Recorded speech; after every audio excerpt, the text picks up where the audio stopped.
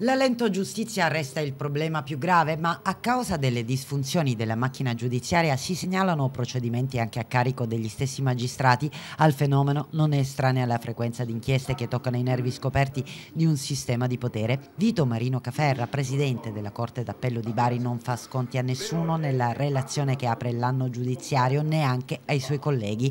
Non mancano conflitti tra gli stessi magistrati con inevitabili ricadute negative sull'intero sistema sistema giudiziario, scrive dopo aver rimarcato il problema del passaggio dalla magistratura in politica.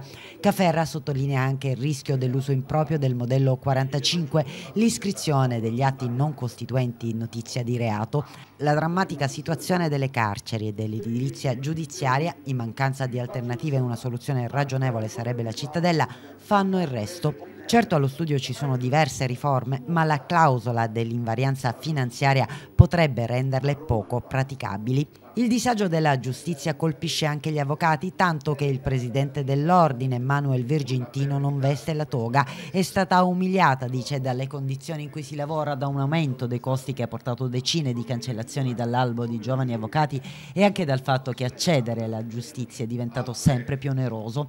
Non poteva mancare il passaggio sul Tribunale di Lucera, un massacro della geografia giudiziaria, lo definisce l'onorevole Sisto.